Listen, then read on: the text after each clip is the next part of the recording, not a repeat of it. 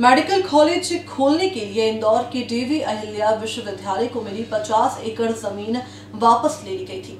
दरअसल ये ज़मीन कभी डीएवीवी के नाम हुई ही नहीं थी।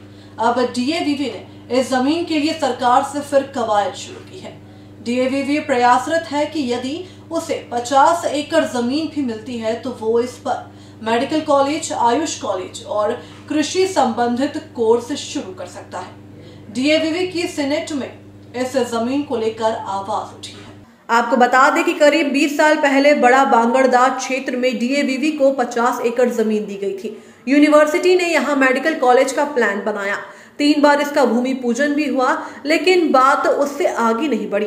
कॉलेज के लिए 600 करोड़ रुपए का बजट चाहिए था, जबकि यूनिवर्सिटी का तत्कालीन वार्षिक बजट ही दो सौ छप्पन करोड़ रुपए का था। ऐसे में मेडिकल कॉलेज का प्रोजेक्ट पूरा नहीं हो पाया। फिर सरकार ने ये ज़मीन वापस ले ली। तब ये भी पता चला कि असल में ज़मीन कभी यूनिवर्सिटी के नाम पर ट्रांसफ़र ही नहीं हुई थी। पर अब सालों बाद सीनेट में ये मामला उठा और सर्वसम्मति से निर्णय लिया गया कि सरकार से एक बार फिर 50 एकड़ ज़मीन की मांग की जाए ताकि मेडिकल कॉलेज प्रोजेक्ट को अमली जामा पहनाया जा सके। साथ ही आयुष कॉलेज और कृषि संबंधित कोर्स भी शुरू किए जा सके। जैसा कि आप लोग भी जानते हैं देवी अहिल्या विश्वविद्यालय को पूर्व में बांगड़दा में 50 एकड़ ज़मीन अलॉट की गई थी, परंतु उसका नामांतरण नहीं हो पाया था। विश्वविद्यालय का उस पर कब्ज़ा था।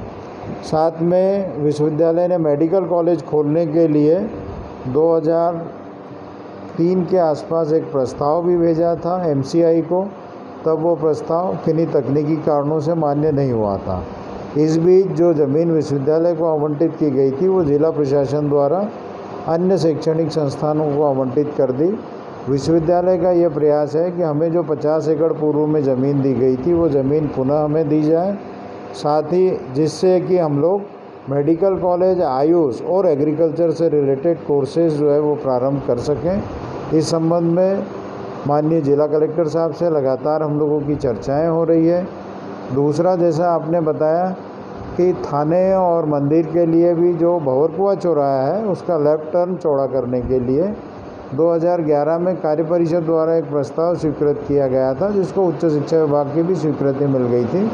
पंद्रह हज़ार स्क्वायर फीट ज़मीन जो है, वो लेफ़्ट टर्न चौड़ा करने के लिए देना देना थी उसमें, और वो स्वीकृति प्राप्त थी। उसके बाद कुछ कारणों से उस पर आगे कार्रवाई नहीं बढ़ पाई।